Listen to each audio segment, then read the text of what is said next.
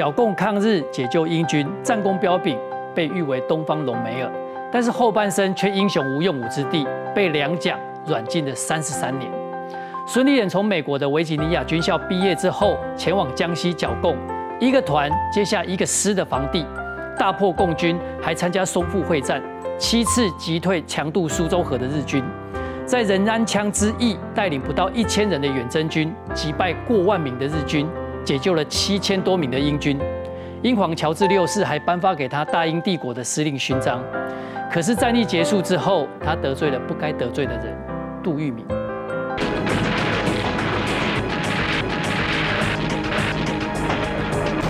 二战期间，日本攻占缅甸，英军抵不过精良部队，一路退守仁安羌油田。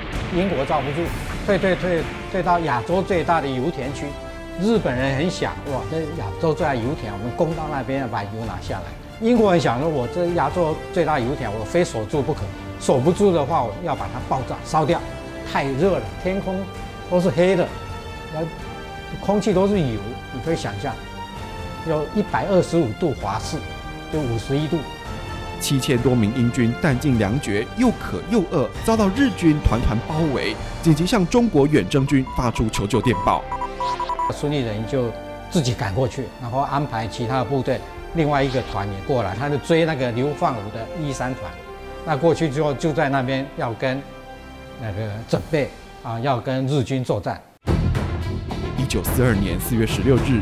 孙立人率领新三十八师不到千人的远征队对决上万名的日军，利用卡车行进时后方拖着大树，制造尘土飞扬、大军压境的假象，让日军心生畏惧，再出兵奇袭冲杀，以寡击众，快、狠、准。三天后克服油田区，迫使日军窜逃。孙立人军团成功解救七千多名英军、传教士及各国战地记者，这是国际公认的战史奇迹——仁安羌大捷。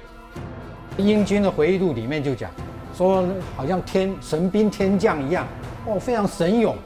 一个我看到是美军的一个一个特派记者就在现场，他会讲中国话，看到华军来就说“中国万岁”，就大家都喊，因为“中国万岁”的这个音啊，大家都会学，所以“中国万岁”一路这样喊。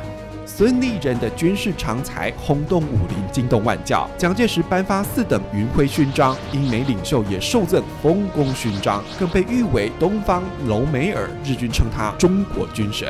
日军是什么部队呢？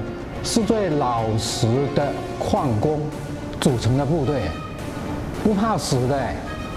你打赢不怕死的部队，那太难了。而且我们看了记录发现，哎呦，一个杀三四个。国军阵亡一个，日军阵亡竟然四五个。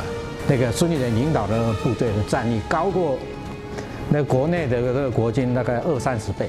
他们譬如会讲到这个，呃，在北非那边哈有这个沙漠之虎是隆美尔哈，那在这个东南亚这个这个丛林战区的话，他们就把这个孙立人哈哎尊为这个丛林之虎。孙立人求学时期就已展现超群。一九一四年，以榜首之姿考进清华大学留美预科，随后赴美就读普渡大学土木工程系。但儿时的一巴掌报效国家的念头从未停消。那他们就跟着小朋友在那边玩的时候呢，哈，那个就有几个好像是那种德国的小朋友，哈，那他们好像这边捡石头还是怎么样，啊，其实他们就有来欺凌他们这边几一位小朋友这样子。那当然，孙将军当时就有点挺身而出，啊，那这就被对方哈就打一个巴掌，也引发了就是当时他觉得其实我们的民族哈，好，我们的这个国家就是要强大，要强盛，才不会受别人欺负。二十五岁那一年，孙立人投笔从戎，报考维吉尼亚军校，是少数非黄埔派系的留美军官。一九三七年淞沪会战。孙立人英勇杀敌，战功卓越，在军界声名鹊起，却也差点壮烈殉国，身受重伤哈，被这个炮弹哈的碎片给击中啊，击中。那当时他也是身先士卒哈，还把他就是啊用船啊轮船就是送到香港哈去医治。孙立人九死一生，身上十三处可见骨的弹疤，形成形影不离的战功勋章。一九四二年四月下旬，日军攻占缅甸腊戍，切断远征军返回中国的退路。孙立人为了撤退路线，和直属长官杜聿明爆发口角，从此为自己的仕途之路埋下祸根。刚好我认识那个孙立人的警卫排排长，他叫泥鳅，所以说我就看到那孙立人跟那个杜聿明在吵，那那领袖都答应了，我往那边走。那杜聿明呢，就是要听领袖的，要回回国，所以两个有吵过。孙立人个性耿直，似乎不大懂深奥的职场伦理。一九四五年五月，二战结束前，欧洲盟军统帅艾森豪邀请他前往欧洲考察，是中国唯一出席的高级将领。巴顿将军还罕见地送上战利品——德国十字勋章及手枪。孙立人马不停蹄前往英国。女王授予他第二枚大不列颠帝国司令勋章，随后又应马歇尔将军的邀请再赴美访问。一连串的欧美之行，孙立人在蒋介石心里种下种种的大逆不道。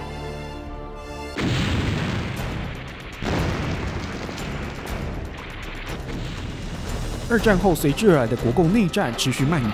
一九四六年六月，林彪率共军占领吉林省四平街。当时孙立人正在美国考察，由副军长贾佑会带领新一军攻打一个多月，始终不见进展。四平街打不下来，所以老蒋就赶快啊，那个电报到海外去要孙立人啊赶回来。那个时候这个战况紧急啊，都没有什么部队了嘛，就把我们那个。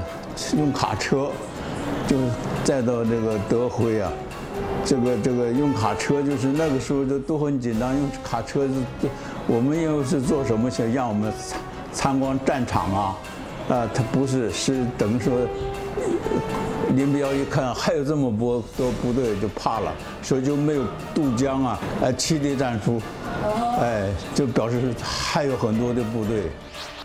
孙立人不仅会练兵，还精通战术。他改编对林彪部队的战法，以前后两侧包围攻进，取代正面攻击，仅仅三天拿下四平街。